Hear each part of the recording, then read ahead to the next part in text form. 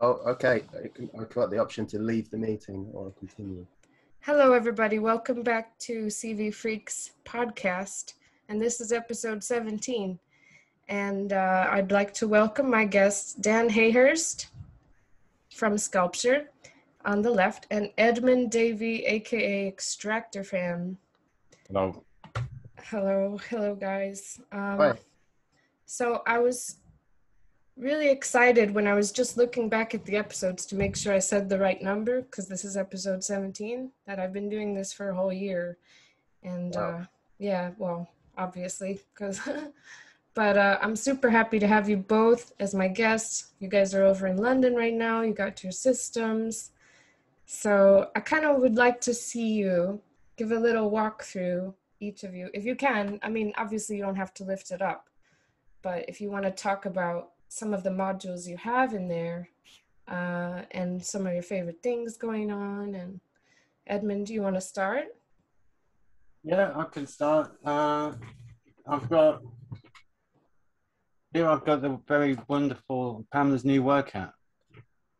One of my favourite bits, and I use it for almost everything. When I first when I first got my Euro rack things, I thought I was just going to make a box to produce weird sounds. But then when I got this, I realised that I could um, use it to make everything go in time and run different a few sequences in, at the same tempo and make things modulate in time and then i realized like can make a whole piece of music inside the modular and then if you use this also wonderful make noise Wogglebug as the master clock then all the modulations are in time and you can do all sorts of funny stuff with that as well uh, and speaking of sequences i've got this uh, it's called a varigate which is a really cool sequencer for doing drum loops with. Yeah, that's Malekko, right? That's right, yeah. Yeah. Uh, you can you can alter the probability for all the steps and get it to do little variations, which I really like. Uh, interesting. I've got all this catalyst stuff that's clones of old Buchla circuits, which uh, I think are really cool, especially the oscillator. Well, it's two oscillators actually. Uh, have their uh, little, their little quirks and sound really good. What else have I got? I've got this. Uh, I've got two noise engineering oscillators uh, that make all kinds of interesting, complicated sounds. Uh, of it, they're digital, so Yeah, I like them. Is it the Basimilus Iteritas one? one's called uh, Manis Manis Iteritas. Mm-hmm. which uh, it's one of the ones that has the percussion function on it. So that's useful, but it's also well, it's probably better just as a straight up noisy oscillator. But ADDAC oscillator, it's simple, but it's really good. And I've got this ornament and crime thing uh, that does all various sort of sequencing, like quantizing got loads of different modes. Most of them are really cool. Yeah. and then the same people do this other sequencer called T- Temps Utile, Mm-hmm. which is quite handy. It can be a bit fiddly, but it has also has some interesting possibilities. And I've got pressure points, which I usually run as a sequencer. Uh, I don't use the, you know, pressure points. Oh, you don't you don't touch the little touch pads? Not that often, no. Or I do it for selecting a stage, but not to go like, you know, Mm-hmm. use the pressure. And I've got another ADDAC thing that's like a crossfader. It's called the transition controller.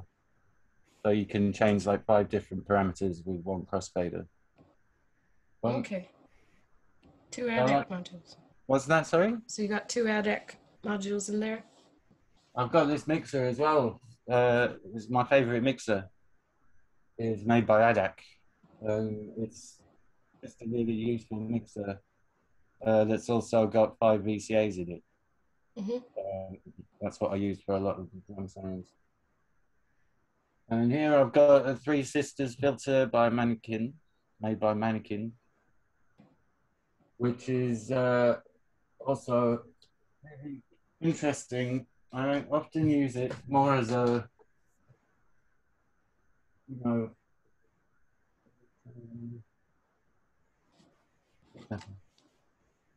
Oh, I like your shirt. I just noticed all the faces on there.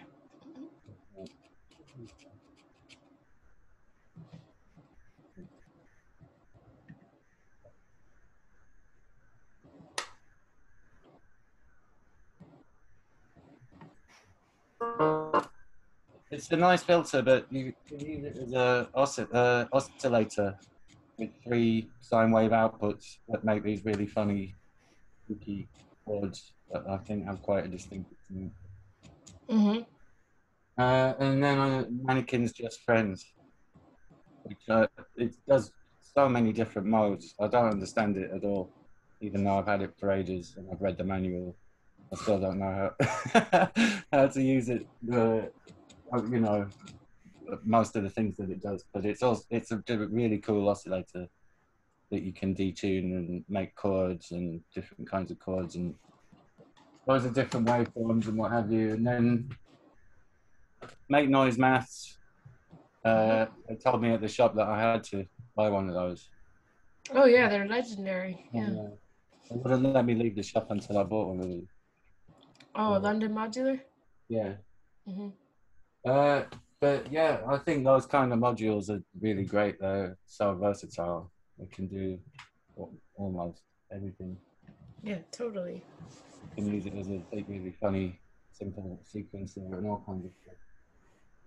Yeah, Edmund, it's so cool the way that we met actually because I was doing an internship with that little uh, sound system company. Maybe you don't even remember when we met. I do remember Oh, you do. Cafe Oto. Yeah, you did this crazy noise thing, yeah, and it was so loud and it sounded so insane. and painful. Uh, painful, yeah. And yeah, uh, I didn't have any. I didn't have any um modular synth stuff back then. nope. And that's Uh, why I call you um, my protege. Thank you. I was using uh, very all very cheap, and also quite broken uh, equipment for that show. Yeah, so that old Jen. explains what possibly the noise factor and also the pain factor. Yeah, and I loved when you Uh, did those cassette things too. Getting into modular synth, I had to buy a, my first case of uh, one a modular enthusi- synth enthusiast. I happen to know, yes. hmm And uh, after, after that, it's just become like addicted as everyone else buy loads of Euro rack, and I think it's great. And it's quite cool the way that you buy them all. You do um, busking on the river outside the Tate Modern, uh, writing poems for people, and that's how you pay for your modules, right? Pretty much. It's a pretty amazing story. So Maybe one of those people who bought your poems will come across this and they'll be like, oh, wow, that's great. Probably not. uh, if you are watching and you bought a poem off me on the Thames, please come back and buy some more. Seems like a nice, like universal transaction. You know, put some That's poetry right. into the world and get some synth modules. now back, you see yeah. what you see, where the money's going. So Yeah. Okay, Dan, Dan, sorry, Dan, Dan, it's your turn. Give us a little uh, run through of what you got. Well, What's your you know, favorite? I got I got into I got into modular stuff because um, I, I for ages I wasn't at all bothered about synthesizers. I just thought they were a bit, bit crap. I wasn't really that interested. Uh, I was really into sampling. I was really into like tape, tape recorders and tape loops and stuff like that.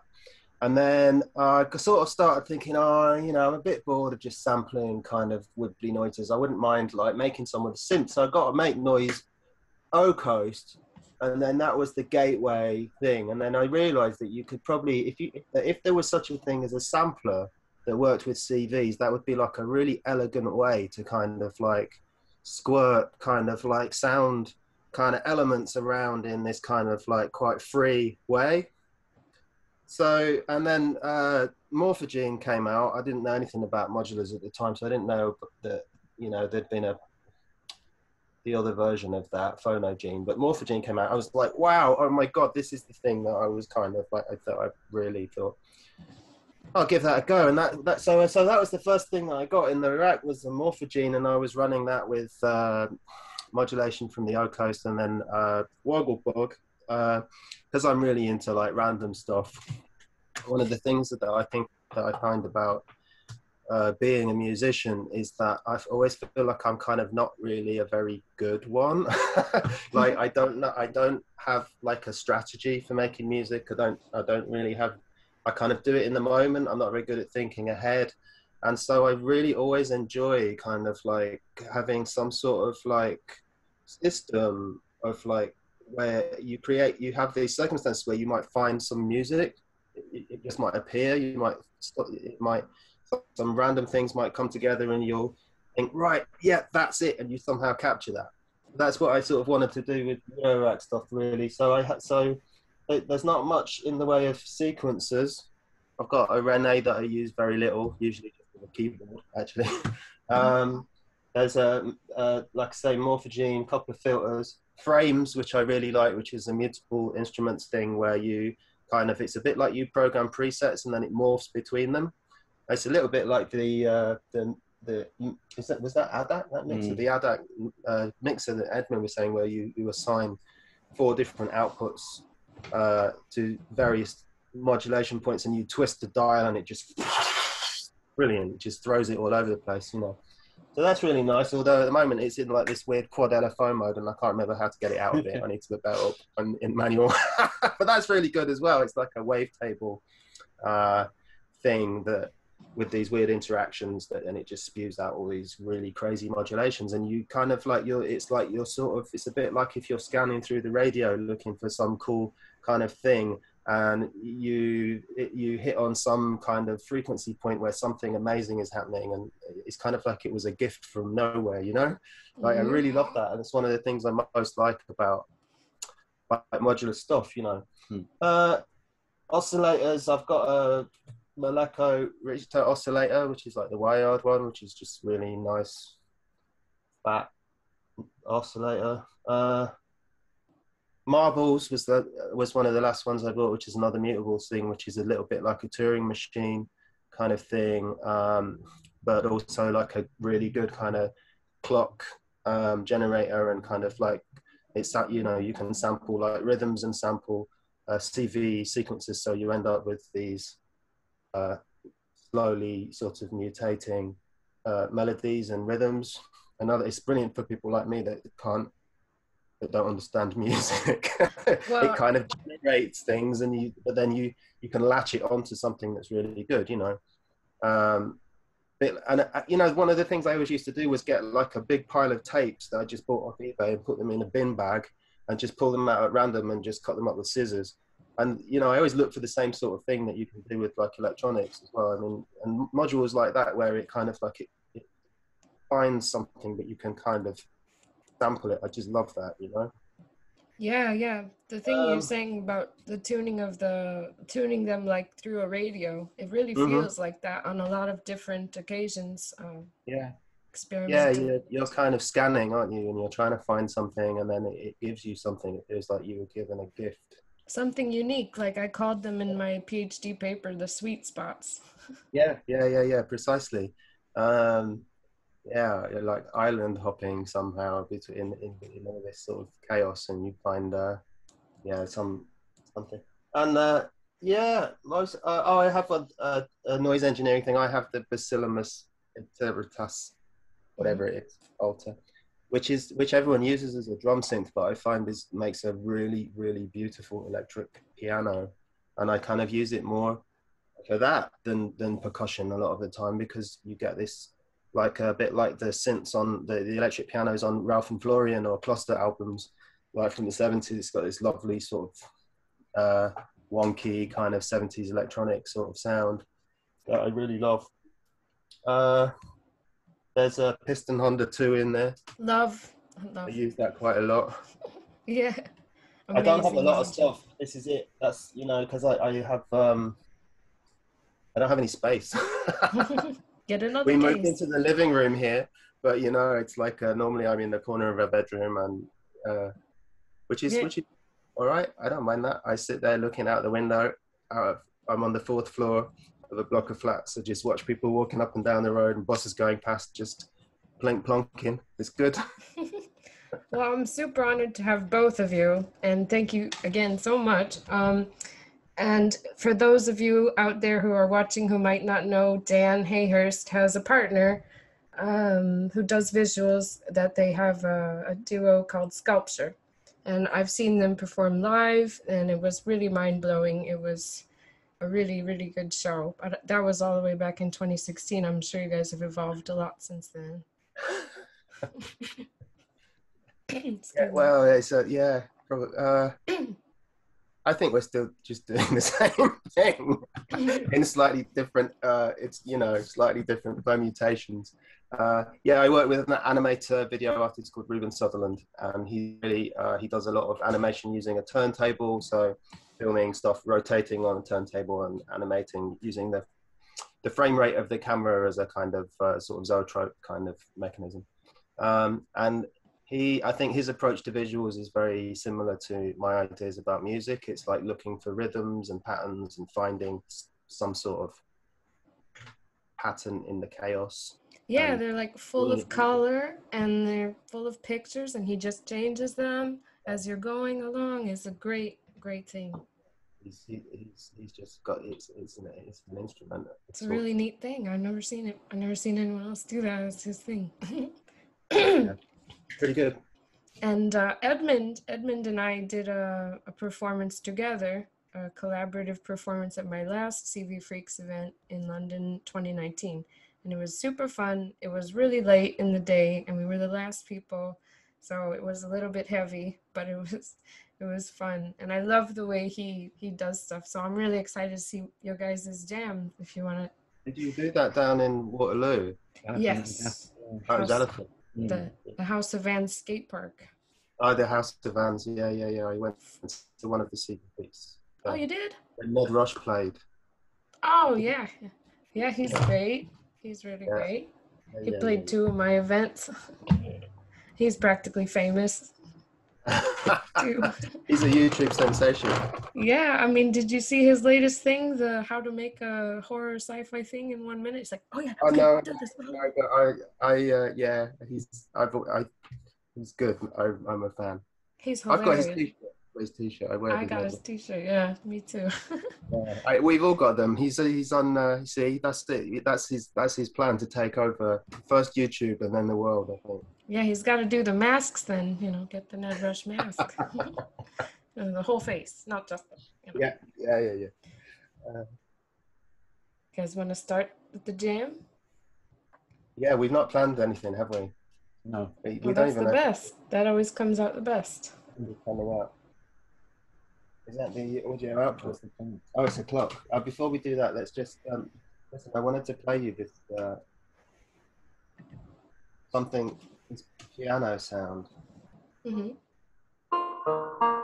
That's the piano sound I was talking about from the Basimilus Iteritas altar.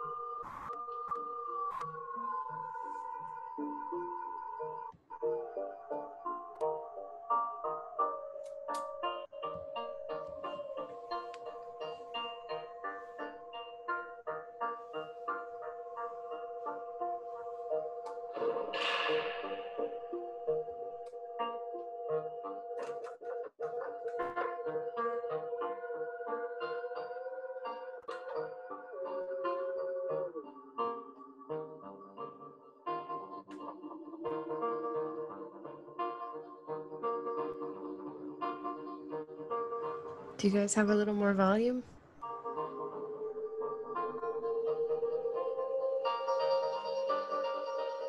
How's that? It's all right.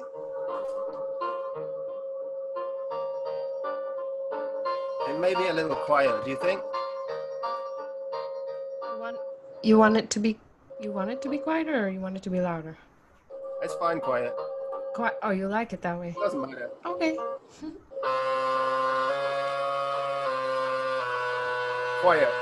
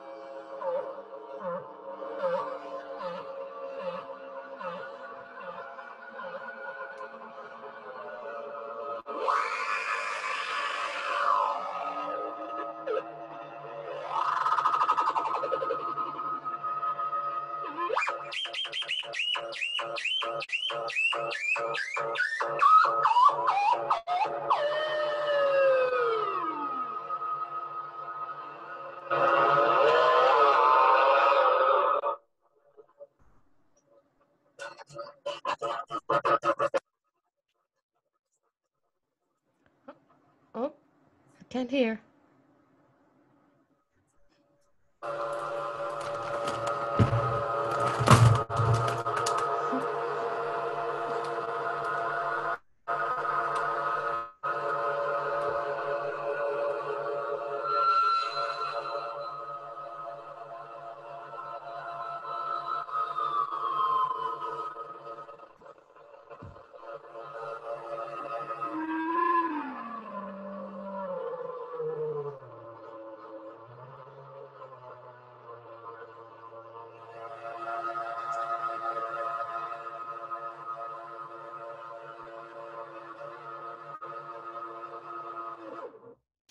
Sounds pretty dope, guys. That's the first part of the jam. We're, Okay. we're recording to this um, tape recorder, Mm-hmm. and that's the reason the sound is like really lo-fi and weird because it's all just coming out of this. Um, Ah. we we quite like that. Mhm. Um, I don't know what it sounds like on the on the recording, but the other nice thing about that is we can just we can just listen back to it at double speed, and it's probably twice. Really? That's it? That whole thing? In that one second? Not even a second.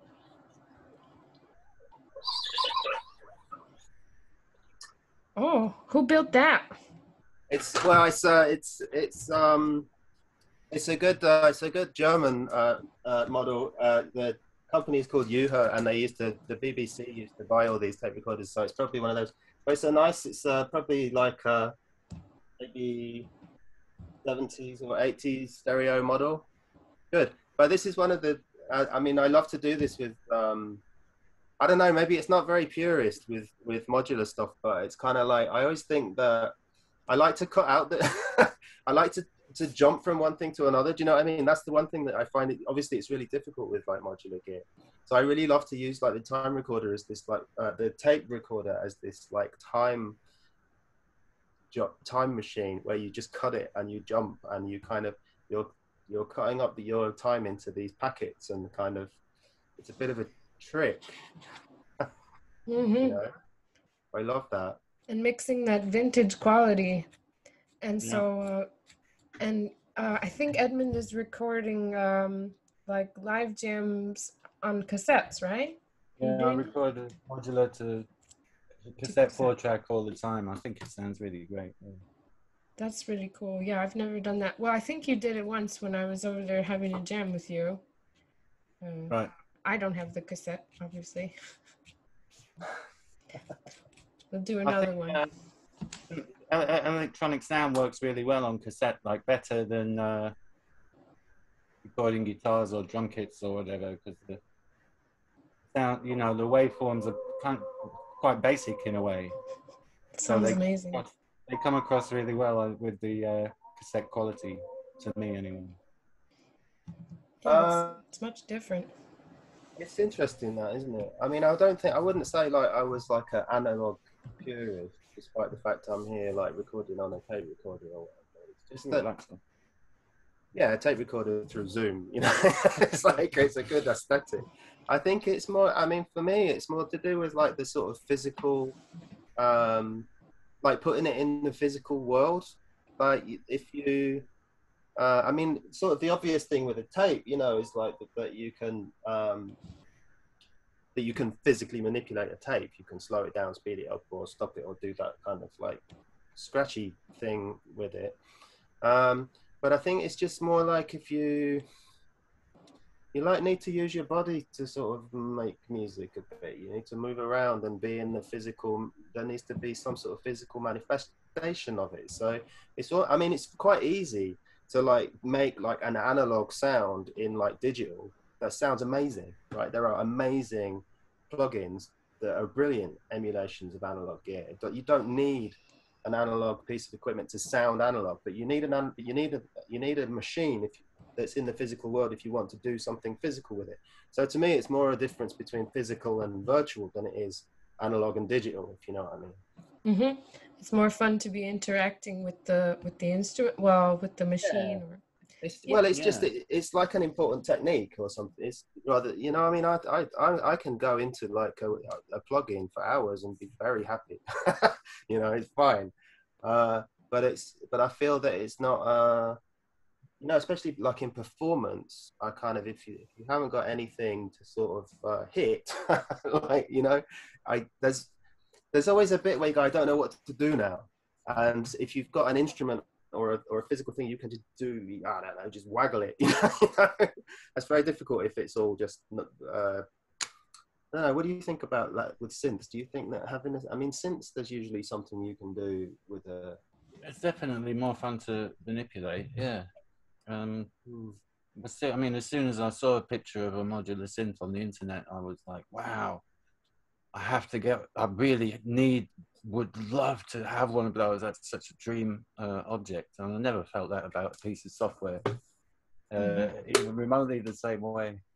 And it's like down, yeah, it's like you were saying about um, twiddling, tuning the radio, uh, trying to find something that sounds good. I used to make music by playing four cassettes on four tape decks at once and collaging stuff so that the idea was I wouldn't necessarily know what was going to happen. And I think all this modular stuff is a really good format for not knowing what's going on.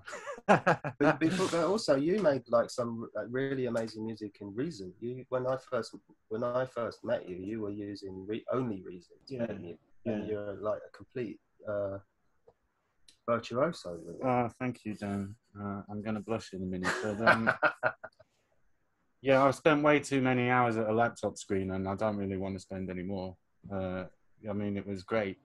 Uh, it- like when I realized, oh, you know, I can use this software to make all the sounds, all the drums, and all the any all the stuff that I can that I want to put on my tune.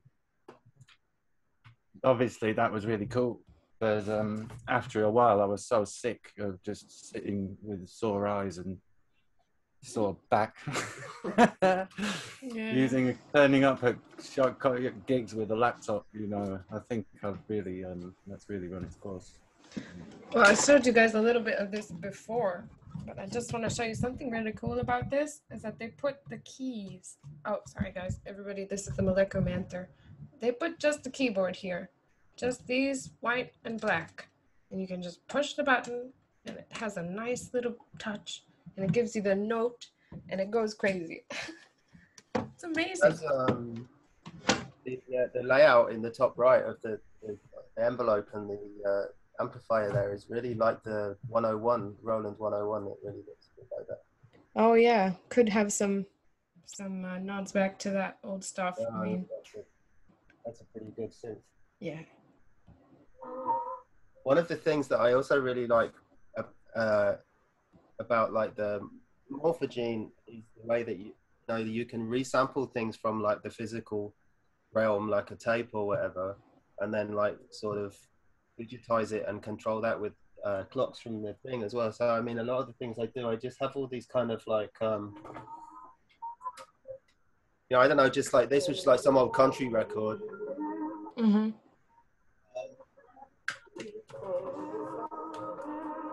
But if you run if you run the clock through it, it just starts stretching it out in time.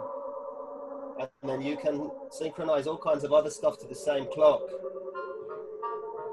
Is that the Morphagene you have there, the black one? That's what that's doing. This is the you can really stretch it out.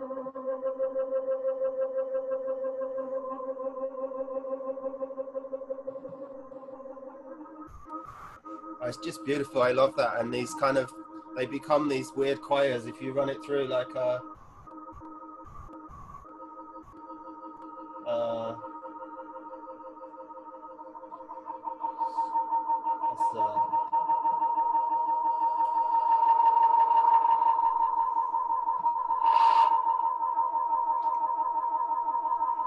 That wasn't very pleasant. but it's spring and it just becomes this like quite celestial sort of Feedback. and then we record that i don't know i just like this conversation between like the uh, i don't know stuff you find that was recorded like 50 years ago or something and then feed it to the machines you know Yeah. It's super wicked. Do you guys want to play a little bit more or a little bit? might need to edit a bit out while we thought about Nah. nah It's just alright. leave it it's all good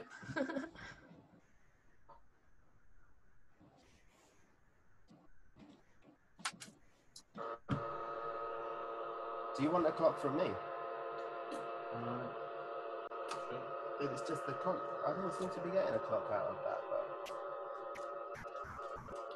see if you get um, yeah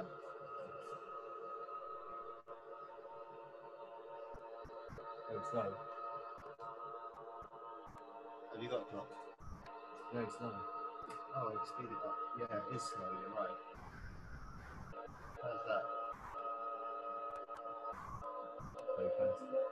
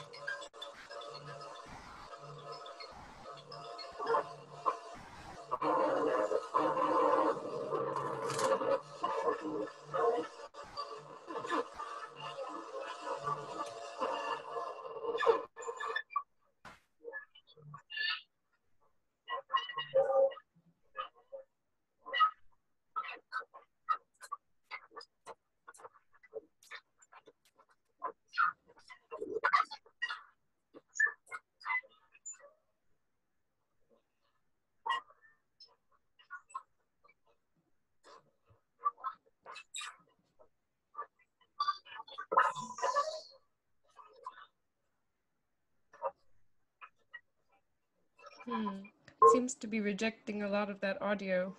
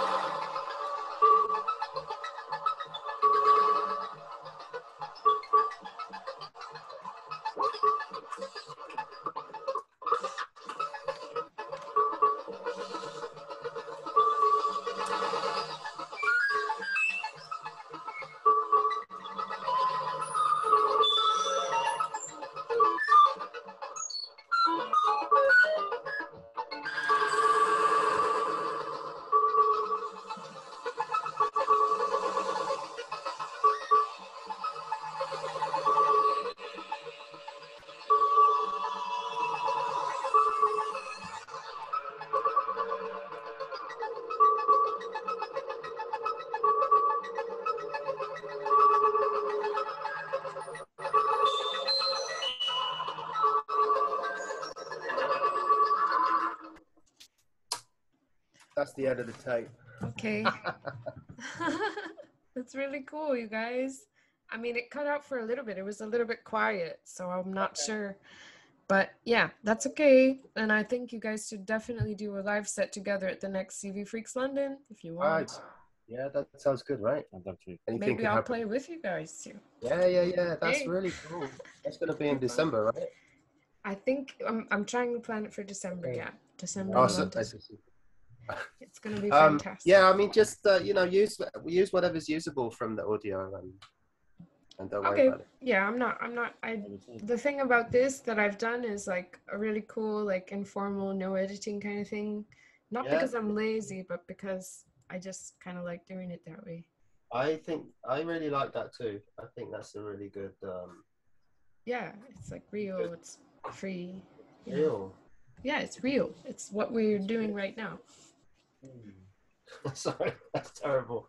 Um, Uh, oh, is there anything you guys want to tell me about? Like, tell everybody about an upcoming release, album, something else like that? well, um, Project. uh, yeah, I do. I've got a record coming out. Oh, Ooh. I have. I've got a record coming out. I uh, forgot about that. um, oh, I'm such a pro, especially at the pro- self promotion game.